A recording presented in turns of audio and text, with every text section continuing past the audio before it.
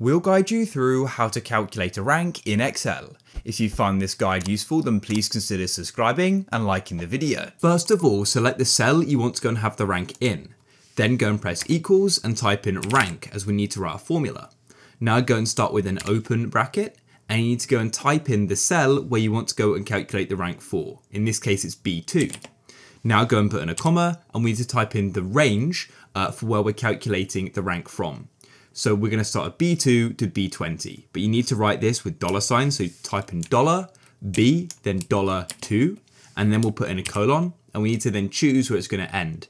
In this case, it's B20. So dollar sign B, dollar sign 20, just like so, and then put in a comma and you need to choose whether you want the rank to be ascending or descending. In this case, I will have it descending. So I'll put in a zero and then I'll put a close bracket and I'll press enter. And it's now calculated it.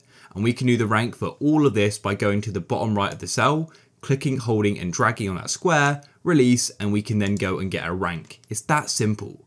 If you guys found this useful, then please consider subscribing and liking the video.